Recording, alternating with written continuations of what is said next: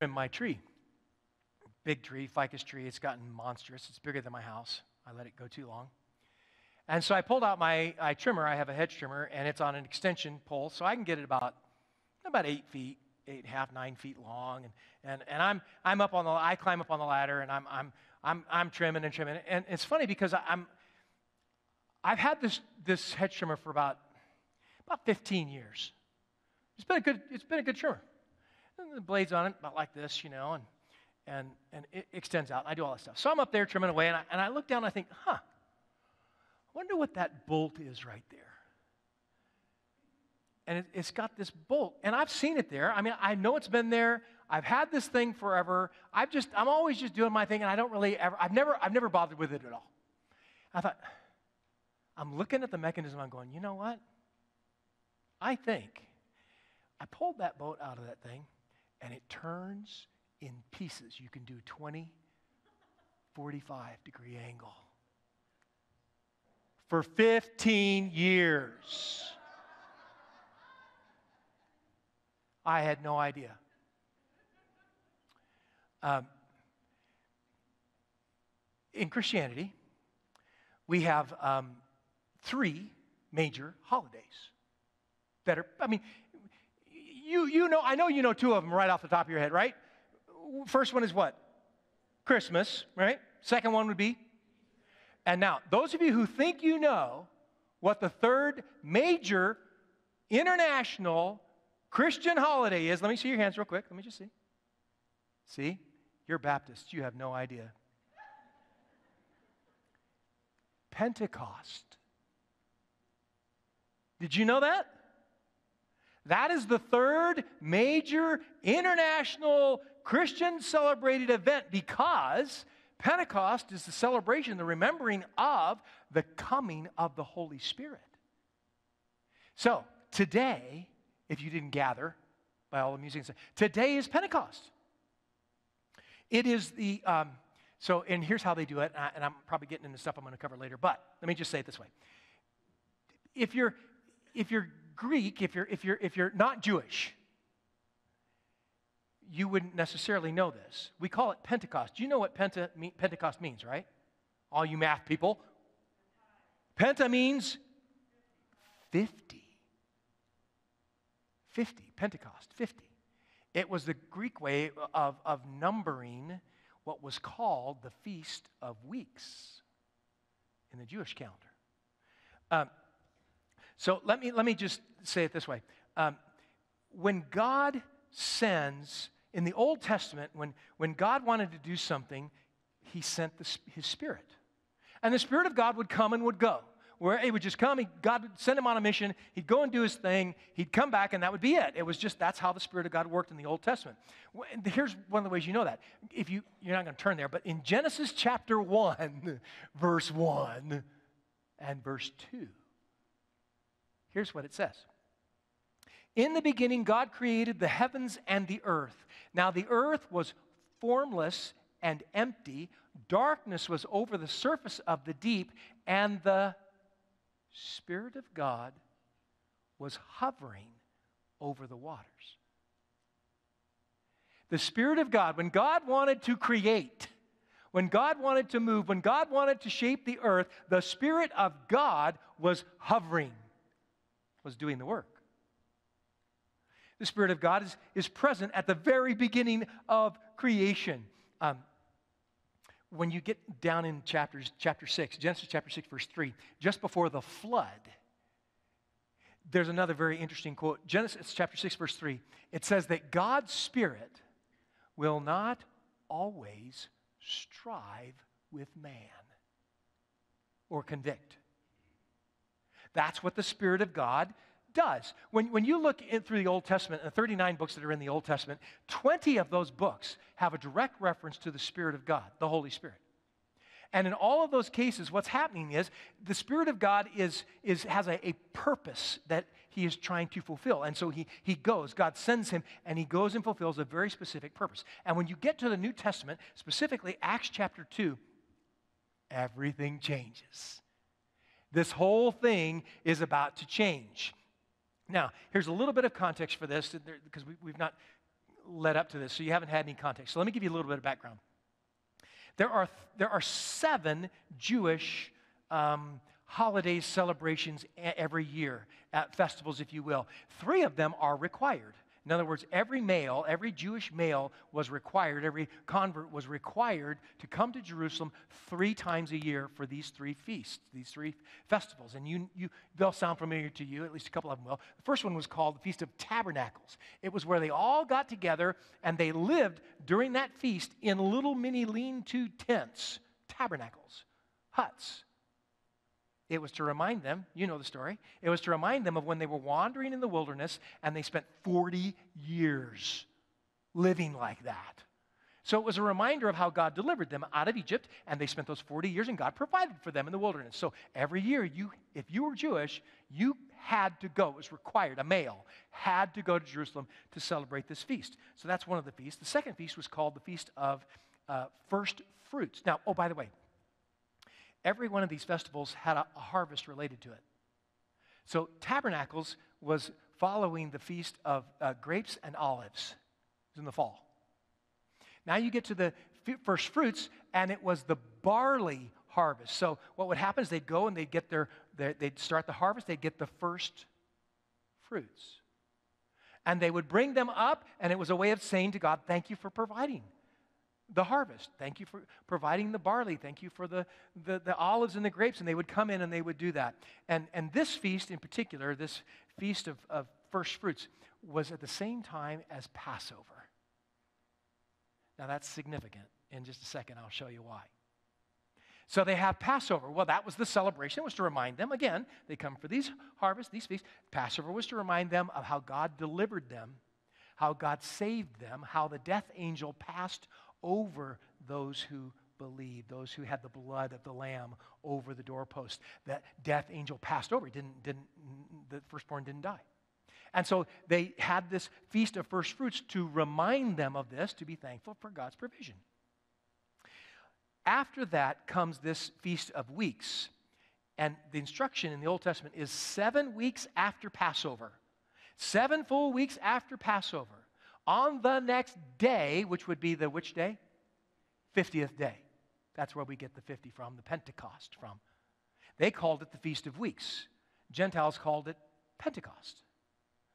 50 days after Passover, they get together for um, this, this the, the wheat. It was the, the harvest of the wheat. And here's the other thing that they did it was the same time also that they recognized God giving the people of Israel the Torah on Mount Sinai to Moses.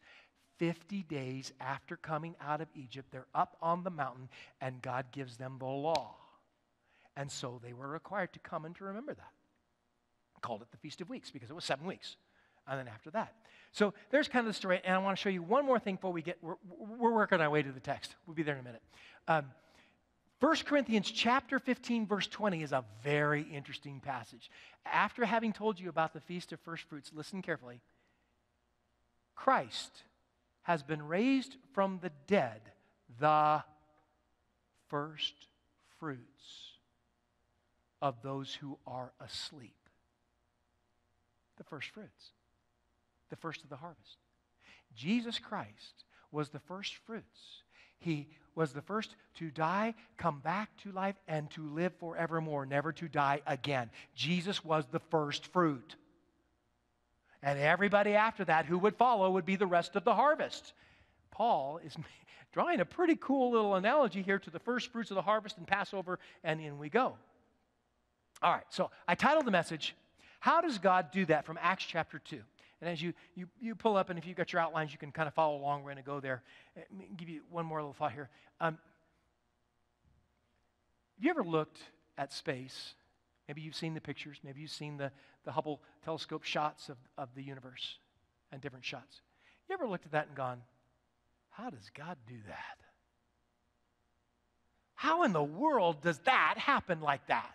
Who holds all this stuff together? Is it, how, how can it be that all of that just kind of continues without falling into utter chaos? How does God do that? Um, how many of you have, um, well, we'll do it this way, because you almost have to have grandchildren to have seen one of these. You got grandchildren? Anybody got one of those little cute little little in utero sonograms? Remember when they gave you the sonogram? Was so cool. My daughter in law, who had my first granddaughter, brought me a 3D. A 3D. You're looking at this six week old 3D baby in the womb, and you can see hair. You can, everything. It's 3D. I don't know how.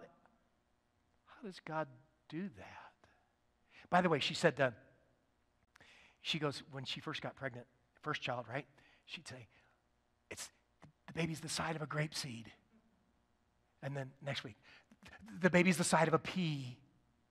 The, the baby's the side of a, of a grape. The baby's the side of a, of a plum. The baby's the size of, and then you get this, and then she comes home and shows you the 3D picture, and you go, How does God do that? How does God do these things? How does God free somebody from an addiction that's been ruining them, killing them? I got a nephew right now that is killing himself, literally. How does God set you free? How does he do that? How does the power of God do that in our lives? How does the God bring healing? How, do, how does God do it when someone spends their entire life rejecting Jesus and saying, no, no, no, no, no, and somewhere in the middle of that, God saves them? How does God do that? Want to take a guess? Let's look at it. Look at Acts chapter 2. Um, you've got um, Acts chapter 1 is, uh, I'm still, this is the longest introduction I've ever done for you. Um, Acts chapter 1, there's so much stuff that goes ahead of this, and I just kind of have to set the stage for you. Acts chapter 1 is the story of, um, the, you've got Jesus, right? Because it's Passover, right? So you've had Passover, you've had the crucifixion, you've had the resurrection. And after the resurrection, New Testament says that Jesus showed himself to his disciples for 40 days. For 40 days, he's making appearances, he's seeing his disciples, he's talking to them to, and he gets them up on the mountain, and he says to them, by the way, up on the mountain in the north, he says, wait, don't go anywhere. Go to Jerusalem and wait for, well, he says, what I told you about. I've told you this. It's not the first time. Go back and wait until the coming of the Holy Spirit, till the promised Spirit, is how he says it. So, so he leaves. And they go back down to Jerusalem, and you'll never guess how many days later the Holy Spirit came. Ten more days. On day 50, on Pentecost. God takes what was at one time the giving of the Torah the celebration, and now he gives them the Holy Spirit, the Spirit of God. Okay, Here's the text. I said, number one, how does God do that? He does it when the Holy Spirit comes. That's how God does it. The Holy Spirit comes. Look at verse 1 through 12. We'll read through here. When the day of Pentecost came, they were all together in one place. Suddenly, a sound like a blowing of a violent wind came from heaven and filled the whole house where they were sitting. They saw what seemed to be tongues of fire that separated and came to rest on each of them all of them were filled with the Holy Spirit and began to speak in other tongues as the Spirit enabled them. Now, there were staying in Jerusalem God fearing Jews from every nation under heaven. When they heard the sound, a crowd came together in bewilderment because each one heard their own language being spoken. Utterly amazed, they asked, Aren't all these who are speaking Galileans? Then how is it that each of us hears them in our native language? Uh, Parthians, Medes, Elamites, residents of Mesopotamia, Judea, Cappadocia, Pontus, uh, Asia, Phrygia, Pamphylia, Egypt, and parts of Libya near Cyrene, visitors from Rome, both Jews and converts to Judaism, Cretans and Arabs, we hear them declaring the wonders of God in our own tongues. Amazed and perplexed, they asked one another, What does this mean? That's another way of saying, How does God do that? What, is this? God sends The, the disciples are in the upper room. The Spirit of God comes. God sends the Spirit of God. And it says that he, he comes to empower and to live in the disciples. The Holy Spirit of God hovers over them and then takes over them, fills them, indwells them. And it says that the disciples speak, at least by count, 15 or 16 different languages, which they do not know. From, because the people have come from all over the world. They have to come. It's the, it's the celebration. It's one of the three required feasts and festivals. They have to come. They, Jews and converts to Judaism, males must come, required. They're all there. They get there, and suddenly they're hearing in their own language from people that they know don't speak it. They're hearing about the death and resurrection of Jesus Christ. They're hearing what God has done, the miraculous event that has taken place, the resurrection, that Jesus is the Messiah, is the Passover lamb. It, this, he's the one that we've been waiting for. It's Jesus. That's what the Spirit of God does. God sends His Spirit at this very specific time, right at this moment of the celebration 50 days, the coming of the Holy Spirit, the gift of the law, and now the gift of the Holy Spirit. Everything shifts. So, why, you, kind of wonder, well, why does God do that? Well, before this, Jesus is with the disciples. Jesus is the relationship. He's God in flesh. He's the one that's connecting them to the Father, and everything is all right there. And then when Jesus leaves, the disciples are going, Well, now, wait a minute, wait a minute. What are we going to do? You, you can't just leave us. I have to. If I don't leave, the Holy Spirit doesn't come. The promise, the one who's going to not just kind of be there wherever, in person, whenever you need. No, no. He is always with you. He indwells you.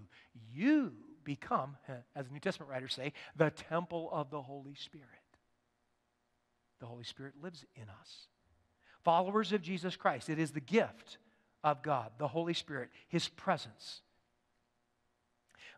Read uh, Romans chapter 8, verse 11. Here's what it says And if the Spirit of Him who raised Jesus from the dead is living in you, he who raised Christ from the dead will also give life to your mortal bodies because of his Spirit who lives in you. That's the shift. The Spirit comes. Not comes and goes, not shows up and does his thing and leaves. The Spirit of God is coming. He comes over the disciples, indwells the disciples, fills the disciples. This is a permanent residing. Now, the Spirit of Christ is with you always, never to leave you.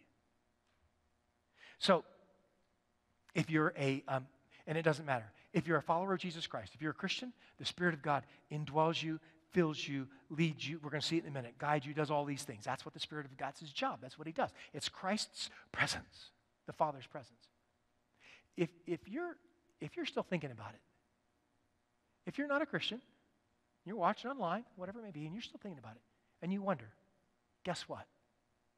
The Spirit of God is pursuing you. He always has. He's pursuing you. He's showing up. He, he does several things. Well, and we'll, we'll, we'll get to that in a minute. Um, how, does the Spirit of God pursue somebody? Christian, non Christian? How does he pursue a non Christian? Spirit of God comes. Second thing, Spirit of God does what? Number two, convicts. That's how the Spirit of God pursues you. He convicts. Now, I'm going to read for you a couple of these verses. Uh, it's verses 17, 21 to 23, 32, and then 36 to 37. It's, it's, it's a big passage, so I've, I've kind of pulled out some, some certain verses here. Starting at verse 17. In the last days, God says, I will pour out my spirit on all people. Your sons and daughters will prophesy. Your young men will see visions. Your old men will dream dreams. Verse 21. And everyone who calls on the name of the Lord will be saved. I'm going to read that one again just because. I don't want you to miss it. Everyone who calls on the name of the Lord will be saved. This is not up for debate. This is what Scripture says. You call out, He saves. Verse 22. Follow, uh, fellow Israelites, listen to this. Jesus of Nazareth was a man accredited by God to you by miracles, wonders, and signs, which God did among you through him, as you yourselves know. This man was handed over to you by God's deliberate plan and foreknowledge. And you, with the help of wicked men, put him to death by nailing him on the cross. Verse 32. God has raised this Jesus to life, and we are all witnesses of it. Exalted to the right hand of God, he has received from the Father the promised Holy Spirit and has poured out what you now see and hear. Therefore, verse 36, therefore, let all Israel be assured of this God has made this Jesus, whom you crucified, both Lord and Messiah. When the people heard this, they were cut to the heart and said to Peter and the other apostles, Brothers, what shall we do? This was the first Jerusalem evangelistic crusade. Peter stands up and he starts telling this is what this is what has happened this is what the leaders have done he says but this is the one Jesus is the Messiah, the promised one. The Holy Spirit, what you've just seen here with the coming and the languages and all that, and the proclaiming in your language, that's the Holy Spirit that God promised. He, he preaches a message, and if you read the whole message that Peter gives, it's from the Old Testament. He preaches, because that's what they had, right? He's preaching a message from Joel and Psalms. These are verses that they know, they're familiar with these. He says, These tell us of what God is doing and God's plan. And as Peter preaches this, he's able to connect the dots. All these people who have come from all over the world are suddenly connecting the dots. Wait a minute, wait a minute. You mean this is God's plan? This is the, this is the, the Passover lamb. This is the Messiah. This is the, this is the resurrection. The crucif- this is forgiveness of sins.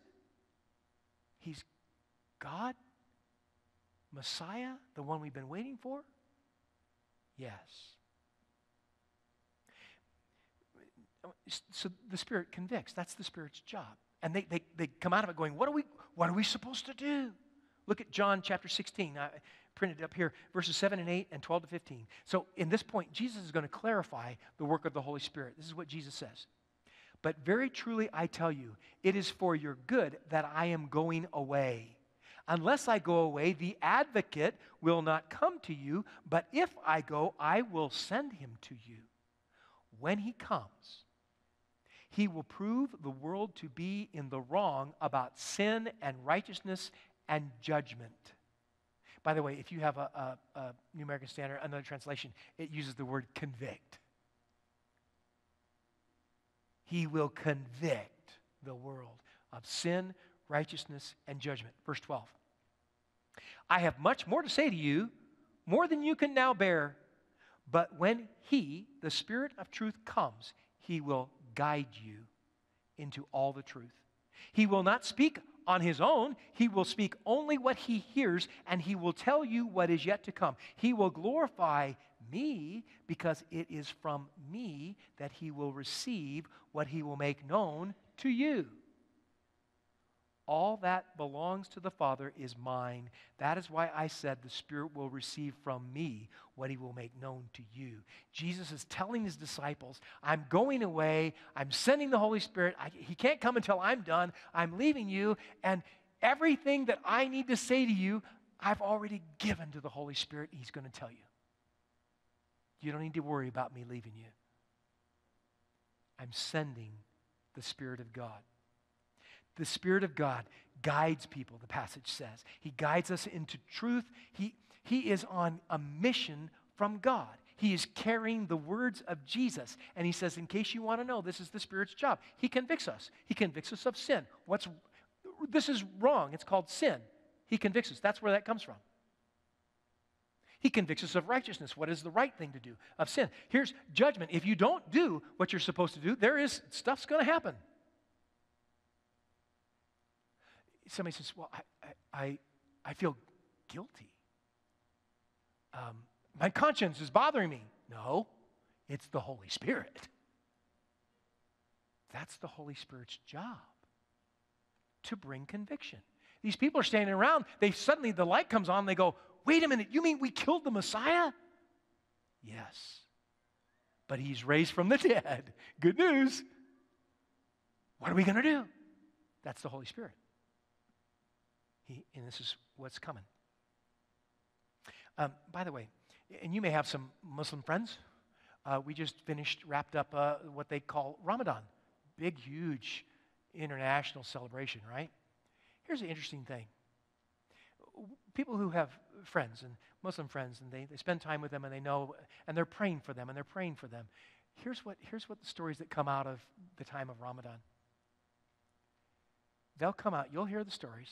They'll say, so and so, I was talking with so and so, and they came to me because they said they had a dream and a vision, and they saw Jesus coming to them and telling them to believe. How does God do that? He does it through the Spirit. That's the Spirit of God. That's His job. God reveals Himself in the dreams and the visions, and the Spirit of God comes and He convicts. Okay, third thing. Good, I'm on time. First service was late. I kept them long. We're going to get you out on time. Third thing, the Spirit of God. The Holy Spirit of God, He comes, He convicts. Here's the third thing the Holy Spirit seals. Look at verses 38 to 41. So, this is following up, right? We're just continuing down through the story. They, they, they feel the conviction of the Holy Spirit, and now they have this response. Peter replied, Repent and be baptized, every one of you, in the name of Jesus Christ for the forgiveness of your sins, and you will receive the gift of the Holy Spirit. The promise is for you and your children, and for all who are far off, for all whom the Lord your God will call. With many other words, he warned them and he pleaded with them save yourselves from this corrupt generation. Those who accepted his message were baptized, and about 3,000 were added to their number that day. How does God do that? It's the Spirit of God. The Holy Spirit is, as the text says, the Holy Spirit is God's promise, his seal, his mark of ownership. That's what the text reads. That's what the Holy Spirit does. When God, when you receive Christ, when you open up your life and you call out for His forgiveness, God sends the Holy Spirit to come just like He did in the early disciples. Sends His Holy Spirit to take up residence in you. It, it, it's not like pre. It's not like Old Testament where the Holy Spirit comes and goes, shows up and does things and leaves. Oh no no no no. He comes in and He never leaves. He is your mark, He is your seal. Ephesians chapter 1, verses 13 and 14. This helps clarify some of this. And you also were included in Christ when you heard the message of the truth, the gospel of your salvation.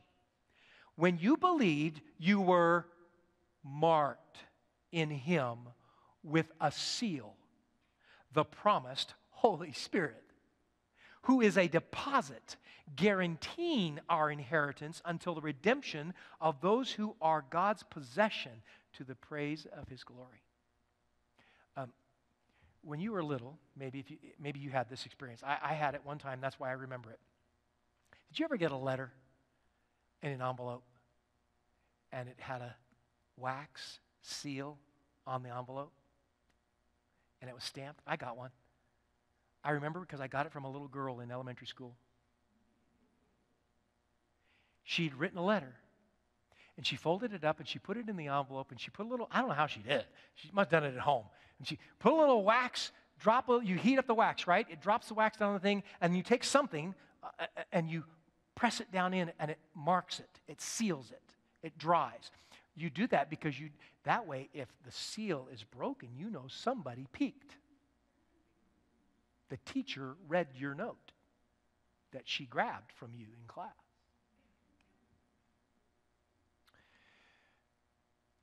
This is not new. The Roman emperors, this is where it comes from. When the Roman emperor wanted to send a letter on official business, they would roll it up, they would take wax, pour it down on there, on the scroll, and he would take his ring, his signet ring, he, he was the only one that had it, and he would push it in and stamp it, and then it would dry. And the rule was nobody opens it except the person to whom it is sent. And if somebody breaks that seal, somebody's going to die. That's how that worked. The text says um, that the Holy Spirit is your seal, He is your mark. Um, when you bought a house, and you signed the contract, you had to put something down on the house. They called it a deposit. A deposit. It was a percentage of the price that you had to pay for the house, right? It was a what? It was a promise, it was a guarantee. I promise I will fulfill the contract. I will, and if I don't, I forfeit my deposit, right? Well, nobody wants to do that. I mean, you put it down, it's a good earnest. You say, I'm going to come, I'm going to fulfill the contract, I'm going to buy the house, I'm going to do whatever it is. What does the text say?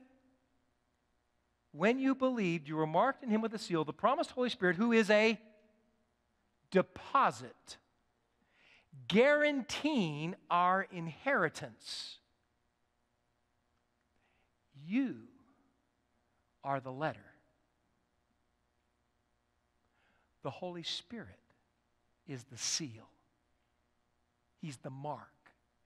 He's the deposit in your life. He's the guarantee that someday when you are delivered to the Father and He breaks the seal and opens up the, you, the Holy Spirit is your promise, your guarantee that you will see Him face to face and the Father will open it up and it will be you in His presence. We call that heaven. That's what that is.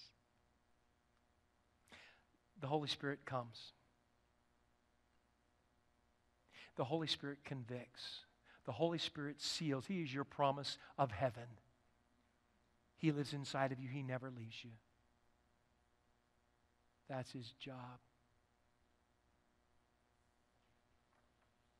Let's pray. Father, we're grateful for this morning and for an opportunity to be reminded of how much you do love us, what you have done to make all this possible.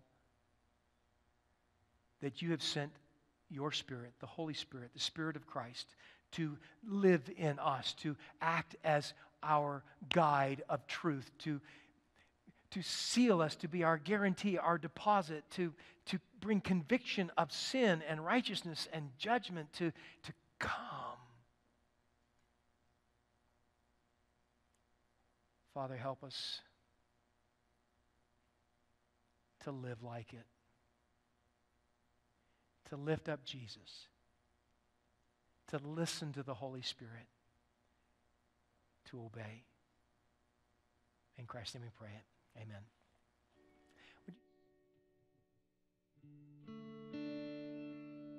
I want to wrap up the service this morning by doing this. I hope if you're a follower of Jesus Christ, I hope it doesn't take you 15 years to figure out what the Holy Spirit's for. Oh, I know it's there. I, the Holy Spirit, from the moment of your faith, the Holy Spirit was with you, in you, to convict of sin, what is not right, what is right, righteousness, and what happens if you don't? That's the Holy Spirit's job. He doesn't just, by the way, and I said to you, it doesn't, it's not just Christians. The Holy Spirit does this in the world because He's drawing people. Drawing people. It's His job. He's on mission to see lost people, addicted people, guilty people. Pick your sin. Doesn't matter. To draw them, to forgive them through Jesus Christ. We want to invite you this morning. If you're a follower of Jesus Christ and you heard the Holy Spirit say to you this morning, uh, are you paying attention? That's the Holy Spirit saying it's time for you. If you're maybe you're watching online, maybe you came as a guest here this morning, and, you, you're not a you're not a Christian. You came because somebody invited you, and that's we're glad to have you. And you felt the same kind of thing, pushing you, saying, "I, th- I, I think he's talking to you." Yeah, the Holy Spirit is convicting because that's his job. That's what he does. He says, You need Jesus Christ in your life. You need forgiveness. You need God in your life. We want to give you that opportunity this morning. We're going to sing and we're going to open up the front. You can come and you can pray. You watching online, you can, you can pray right where you are. You can tell Jesus, I believe in you. I need you to forgive me. I believe you, you went to the cross for me. You died for me. You raised from the dead for me. You can do it right where you are. As we sing, you come.